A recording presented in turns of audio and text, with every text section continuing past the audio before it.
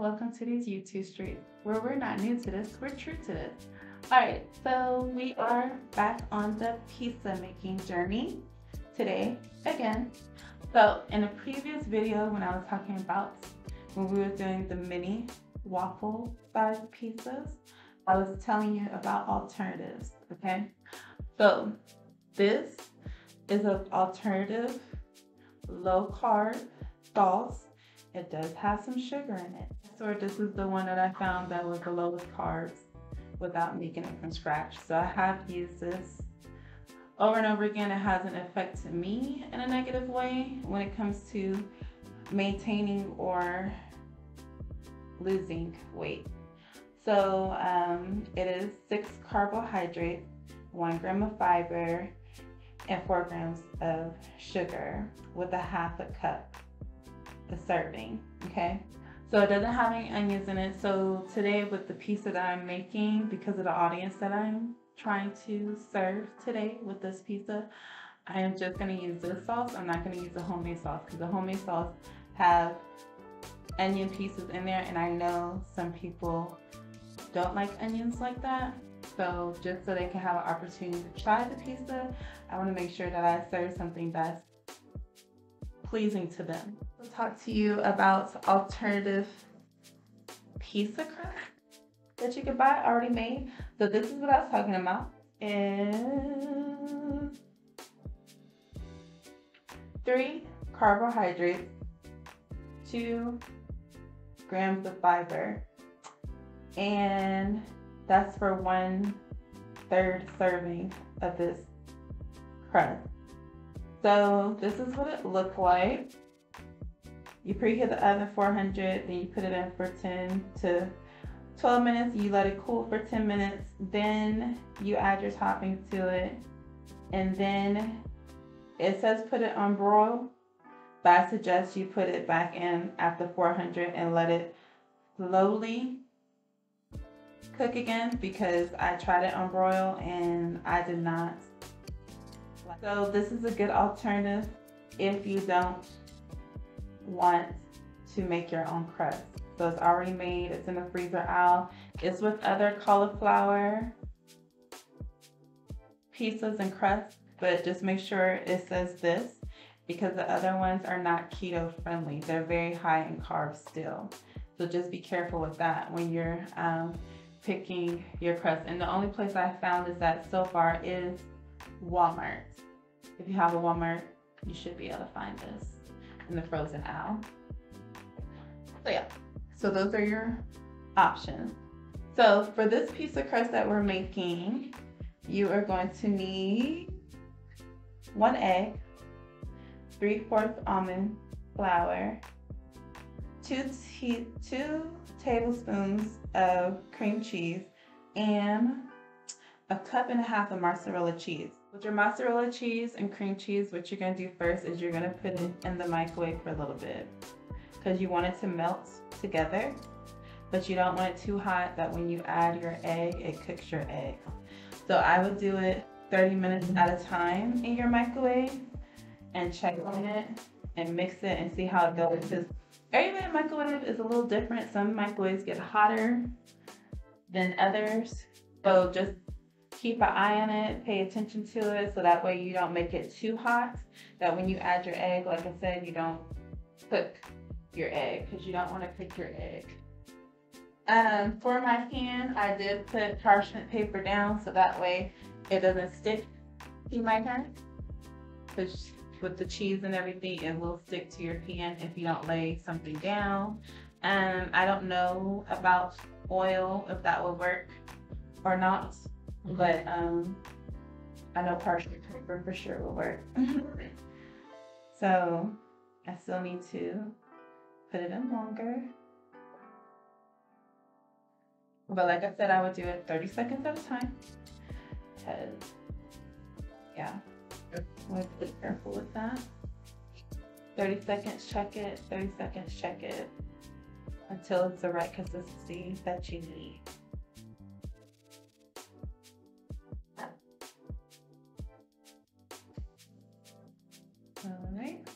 So I didn't even keep it on for that whole 30 seconds this time. I stopped it at four seconds and it's what I need. So I did leave the cream cheese out for a little bit to make it room temperature.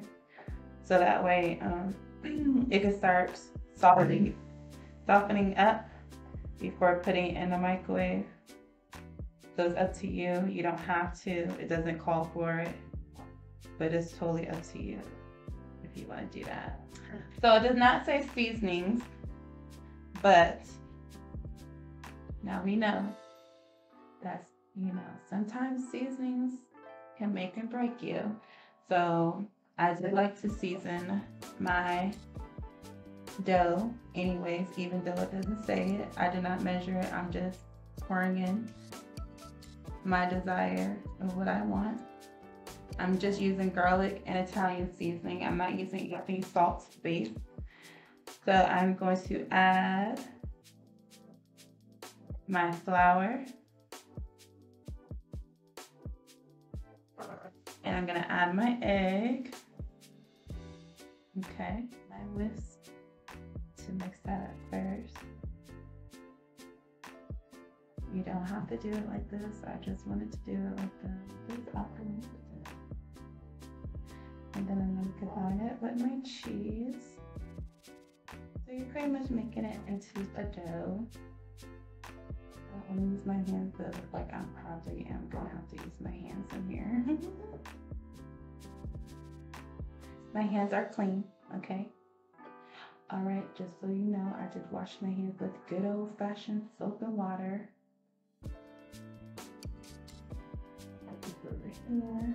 I just don't like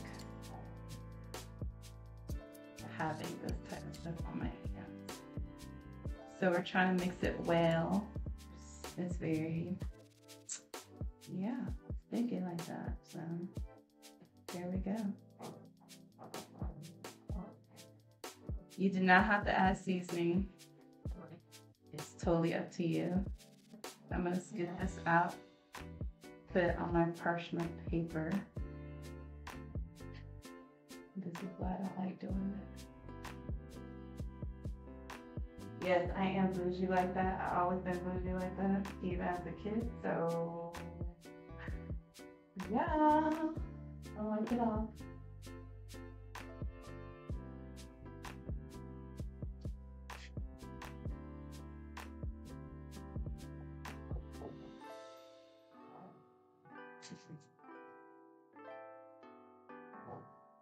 It is so windy outside.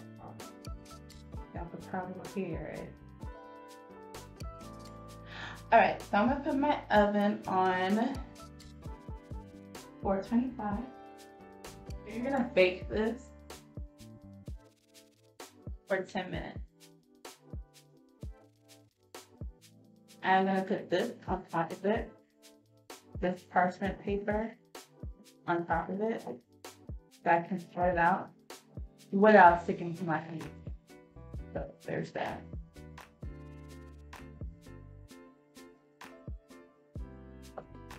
Helps you spread it out. If you have a rolling pan, a rolling pin, that would be so beneficial to use if you have one. A small one for the big one, like, really fit. I'm just trying to spread it out. I'm using this shape pan because this is what in my oven for sure. So you can use a circle. I just have a smaller oven available to me. So I'm gonna use what works. But if you have a normal size oven, you can use a circle pan, a normal circle pan. But I do like the shape better anyway. Especially when you cut and serve it. It's just different. I'm just trying to press it out as much as possible, get even. First, you cook evenly. A little bit to my pizza. Back to the we do that all numbers.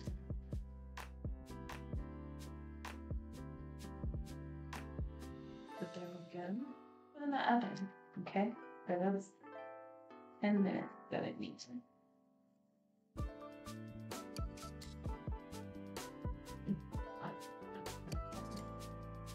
If you want a thicker crust, I would suggest to double the recipe. Um, the crust to start cooking. Um, I'm going to do simple toppings on this one, just because the, the audience that I'm trying to serve, I want to make sure they have an option. Um, so I'm going to use the sauce, pepperoni on one pepperoni and cheese on one side and just cheese on another side. Just so um, the ones who don't like all that topping, extra toppings and don't have to um, compromise what they like or don't like. So it has been about 10 minutes and it is nice golden brown. So I am going to go ahead and take it out. This is what it looks like. Okay.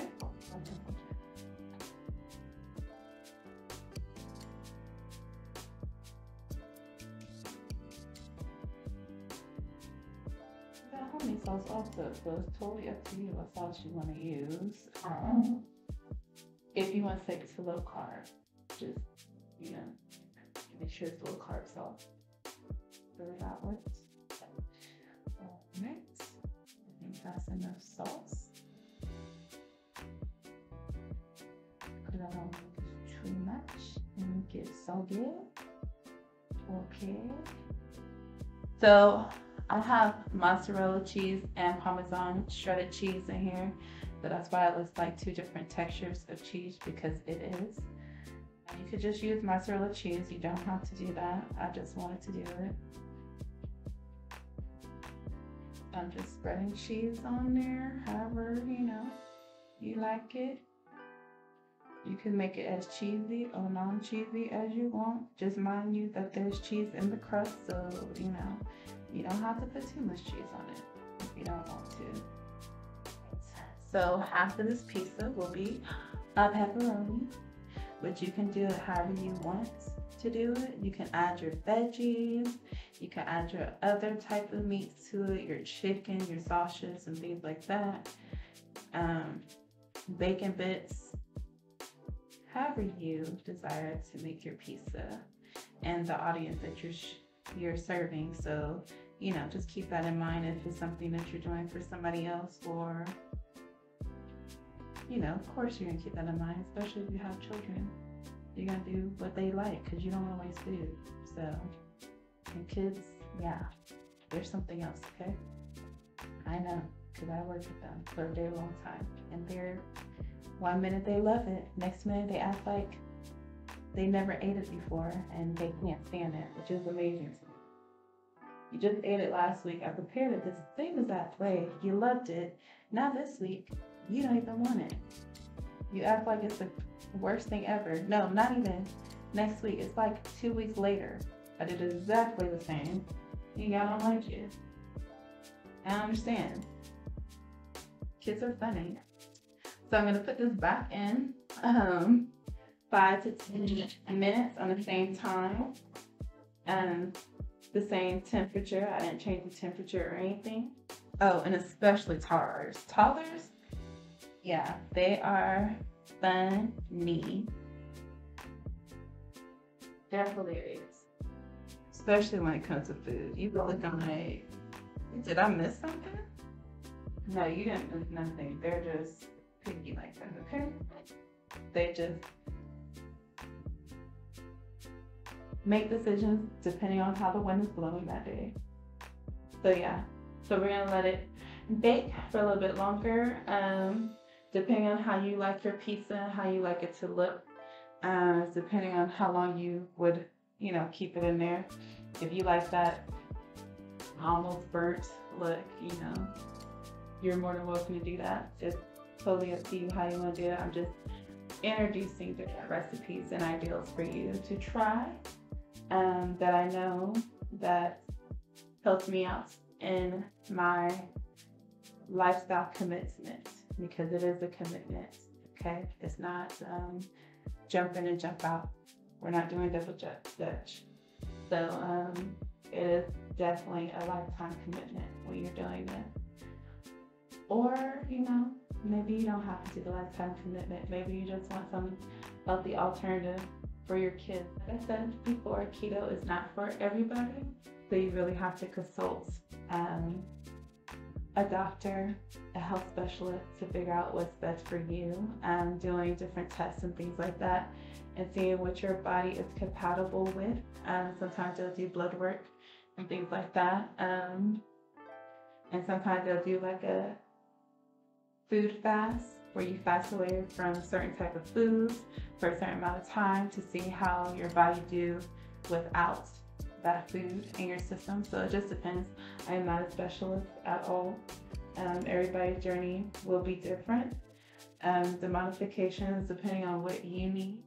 So yeah, so I needed to get rid of all the gluten type foods because it was making me sick. So the older I became is when my body said, you know what, we don't like it. So you're gonna have to fix that. So yeah. So that's why it is easy for me to commit to the keto journey because it took things out of my lifestyle eating habits and made me better, healthier. You want to be healthy so you can complete whatever mission or purpose that God has for you. Okay? So, because when you're called and you're chosen, you ain't got no choice, and it doesn't matter what your health is. God is still calling you to do great work.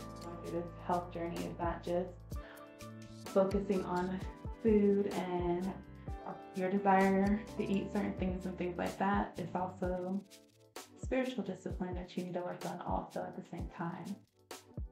So don't just work on your natural body and not work on your spiritual body also. I'm gonna flip it because I'm noticing one side is getting darker than the other. And I want to evenly bake. I want it to bake evenly, but it's starting to have that golden brownness to the cheese. So when you are warming up this pizza, the best way to do it is to put it either in a toaster oven, in a toaster oven, or a regular oven, and rewarm it up. If you do it in the microwave, it might be a little bit on the soggy side. So just keep that in mind. Ooh, look at that. See? There we go. There we go. Look at that. I will let that sit so it can become crispy. Okay. And then cut it. I will not cut it yet. Wait. I just want to take those extra edges off of the pan because I don't want it to stick. So there you have it. That's your pizza. I would just slice into it with a pizza cutter. Good. That is, that is, that's it. So try it add your own little flavor to it, you know, adding more seasoning, adding more toppings to uh, cater to your audience or cater to you, how you like your pizza. Enjoy. Enjoy. Let me know down at the bottom if you want to try some other recipes, um, other styles of foods that you would like to see, uh, any questions you have for me. Uh, like, comment, subscribe. Come on, y'all, subscribe. Yeah, do the thing. So yeah, there goes my pizza. And you have a great and wonderful day. We out of here.